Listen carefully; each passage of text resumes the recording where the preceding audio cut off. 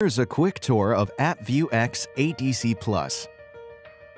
AppViewX ADC Plus has many management capabilities outside of managing and monitoring ADCs and their application services. Apart from managing the F5, Citrix, A10, Cisco, and Akamai ADCs, AppViewX also allows users to manage the SSL certificates across them. To start off, the primary functions on a device level would be taking backups that can either be extracted immediately or scheduled for later. One can also compare the different archives, allowing the users to see what changes might have occurred in the applications. Given the depth of comparison, users will be able to keep track of config drift, enabling configurations to be restored from previous backups. With this, you can not only perform a device-level restore, but you also restore individual objects as needed. This is where AppViewX stands out by giving users the ease of restoring individual objects or applications like a virtual server, a pool, or a profile, rather than restoring the entire device configurations. The Control Center is the search engine of AppViewX running on an index-based algorithm. The search is done through all configurations across devices, where the dependencies are mapped, showing the wide IP, wide IP pool, and wide IP pool member, followed by VIP, pool, and the pool members it automatically recreates a holistic view, making it easier for users to troubleshoot. So when users question why their application is down, the network team can pinpoint and address the issue as they view it in a single console. It is enabled to automatically map the issue, giving details of the application, how it has been configured, and a snapshot of the entire configuration in a single pane of glass. Even if something is amiss, users can immediately log in to see why the application is down and easily troubleshoot the issue. The color coding is super simple and shows the availability status with an option to enable and disable that is replicated from the device, along with the color scheme. The dashboard makes things easier.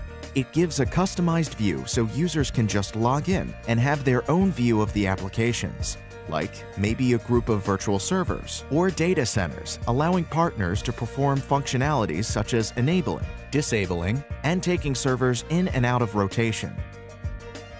With granular access, all modules are integrated in the RBAC that allows customization of roles. These customizations are for different business units. It could be for an operator or for multiple business units, depending on their functionalities and roles. Furthermore, one can also define what a user can do and cannot do by enabling or disabling certain functionalities. They are allowed to make changes that can be performed on individual pool members. So, we first define what the user can do in AppViewX, and then proceed to share with them where they can perform those tasks at very granular levels. Next comes certificate management, AppViewX helps in discovering certificates that are offloaded on the ADCs and also scans the network for certificates through IP ranges, subnets, and URLs to deploy them to devices and servers. Discovered certificates are then inventoried with essential tracking details like subject name, serial number, and issue and expiry date. Users can also search for an application or a certificate that is associated with the profile of an application it is integrated with various certificate authorities that makes it all the more easy to keep track of multiple certificates. Now, users need not go through the entire process of manually renewing a certificate. With AppViewX, certificates are renewed automatically. On the reporting front, comprehensive reports for certificates expiring in 10 to 30 to 90 days are available. These reports can be scheduled and configured either as emails or SNMP traps. It also offers compliance reports that keep track of the compliant and non-compliant certificates based on the SSL policies created using AppViewX in accordance to various organizational standards. The Statistics module adds another dimension to AppViewX ADC Plus in terms of performance monitoring. The Big Data Hadoop engine helps in providing statistical insights through a historical trend, both on an application and device level, the platform collects stats for up to three months by default.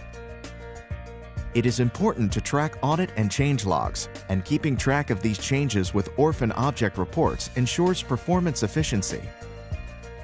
There is also the automated way of generating iHealth reports. That is when the QKView file is taken, a report is published, and sent out to you as a PDF. Regarding alerting capabilities, a threshold or threshold breach alert can be sent if an application is above or below a certain value. syslogs or device level logs are also tracked, based on which emails or SNMP traps are sent out to users. This is important because you need to be aware of how your application is performing.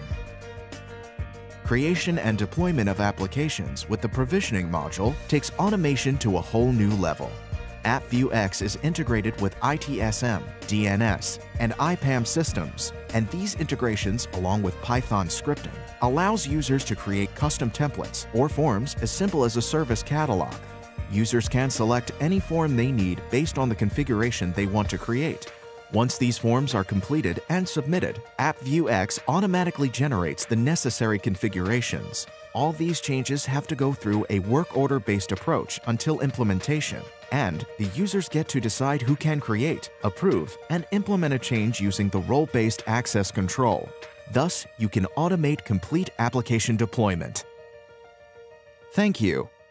Visit www.appviewx.com to get started with AppViewX.